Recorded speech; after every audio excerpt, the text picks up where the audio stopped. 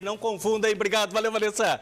Deixa eu voltar a falar com o Marcel Mercúrio, porque, gente, olha só, tá rolando operação, hein? Nas ruas. E os policiais estão mirando casos de roubo de, car roubo de cargas.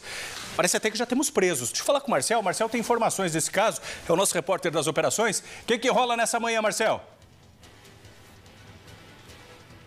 Sim, Cristiano, já temos quatro pessoas presas ligadas a roubo de carga. O que eles faziam, Cristiano? Sequestravam os caminhoneiros, levavam para cativeiros, amedrontando eles a todo momento, falando o seguinte: ó, Agora vai esperar o transbordo da carga e depois disso são liberados. Sempre em outras cidades, Cristiano. Então a delegacia de furtos e roubos de cargas, tem o doutor Lucas comandando hoje essa investigação, pegou o apoio do pessoal do Fera e foram até Santa Catarina também, cidade de Garuva. Tanto aqui no Paraná quanto no estado vizinho, até agora quatro pessoas presas. Dois do Paraná, dois de Santa Catarina. Cristiano, o pessoal relatou o seguinte: não davam trégua, não dava chance de defesa para os motoristas de caminhões. Eles sabiam a carga que eles queriam, sempre cargas caras, iam lá e agiam de forma truculenta, amedrontando, arma na cabeça, falando até que não iam voltar mais para casa se relatassem algum detalhe que chegasse até a prisão desses homens. A Polícia Civil não teve medo desses bandidos, então na manhã de hoje está cumprido vários mandados de busca e apreensão e já temos quatro prisões. Acompanhe a chegada do pessoal do Fera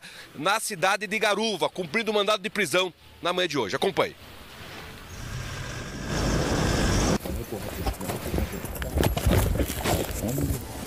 Marcel já trazia essa informação, a chegada dos policiais, aí mais uma vez então para você, a chegada dos policiais em um dos pontos para o cumprimento dos mandados. Né? Olha só, os policiais passando aí por esse beco, uma área relativamente difícil acesso e sempre aquela cautela, aquela tensão, né? Porque você nunca sabe. A ideia é pegar o bandido no efeito surpresa, no gostoso do sono, cedinho. Mas, e se o bandido tá já meio preparado, meio esperto também, né?